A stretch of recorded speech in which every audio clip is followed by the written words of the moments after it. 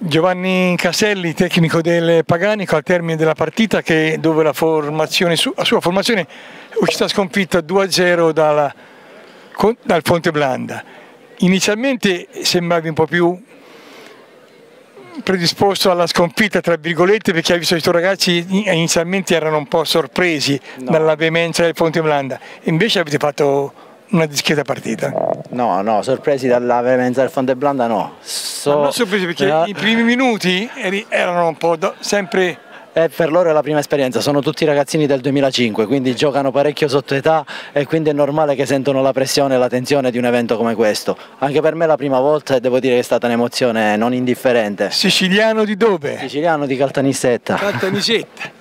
Ci ho fatto una grossa riunione di pugilato a Caltanissetta 7-8 anni fa. Comunque le aspirazioni della tua squadra a livello per questo passa l'acqua? Ah, per, prima... per, noi la partecipazione è già un traguardo non indifferente, per, è un regalo per questi ragazzini che hanno fatto tutto il campionato durante l'anno sotto età e hanno tirato fuori il meglio e più di questo non gli si può chiedere, sono stati meravigliosi.